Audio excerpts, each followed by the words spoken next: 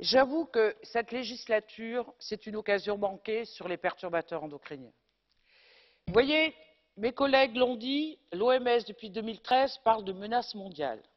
Il y a des milliers de publications scientifiques qui disent qu'il y a des maladies chroniques, que ce soit les cancers hormonodépendants, l'obésité, le diabète, la perte de quotient intellectuel chez les enfants, parce que les femmes enceintes, si elles ingèrent des perturbateurs endocriniens, ça peut avoir une répercussion sur le métabolisme des enfants.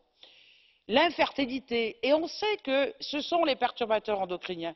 Et vous, la Commission, qu'est-ce que vous faites? Vous gagnez du temps. Franchement, d'avoir une législature et vous, avez vous-même dit que vous aviez une stratégie en 99.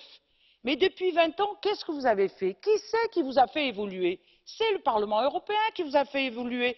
Il a fallu qu'une ministre suédoise et le Parlement saisissent la Cour de justice européenne pour dire à la Commission Faites votre travail Vous étiez en dehors des traités européens pour que vous définissiez justement qu'est-ce que c'est qu'un perturbateur endocrinien.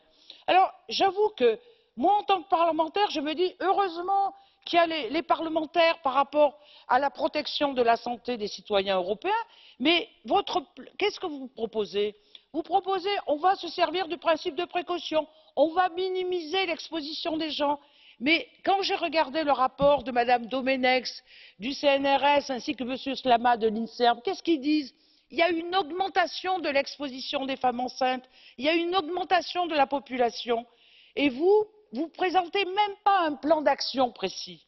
alors cette résolution qu'on vous propose elle vous dit mais non allons y regardez même d'un point de vue législation il n'y a même pas une définition commune horizontale des perturbateurs endocriniens sur les cosmétiques sur les jouets sur les additifs sur les contenants alimentaires. On l'a que sur les biocides pesticides et reach enfin c'est quand même incroyable et après quand on regarde les tests d'évaluation ils ne sont même pas sur l'ensemble des demandes d'autorisation des substances. alors on se moque de qui? donc je vous demande vraiment pour la prochaine législature d'avoir un plan d'action de reprendre les propositions des parlementaires pour qu'on élimine ces perturbateurs endocriniens au même titre que les cancérigènes mutagènes reprotoxiques. il en va de la santé des citoyens.